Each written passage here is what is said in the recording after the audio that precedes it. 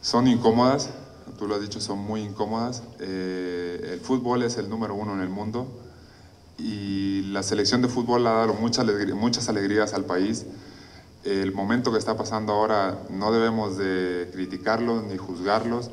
Eh, ellos necesitan apoyo, ellos necesitan buena vibra y si nos dedicamos a, a, hacer leña del árbol caído, pues aún peor, ¿no? Nosotros ahora estamos teniendo éxito, tuvimos éxito en este torneo, hay que aprovecharlo para hacer crecer el básquetbol en el país, hay que aprovecharlo para cosas positivas y no para dañar a otro deporte, ¿no? Que, yo soy mexicano y me encantaría que México de cualquier deporte fuera el número uno y, y ya está, no me gusta nada lo, por lo que está pasando la selección.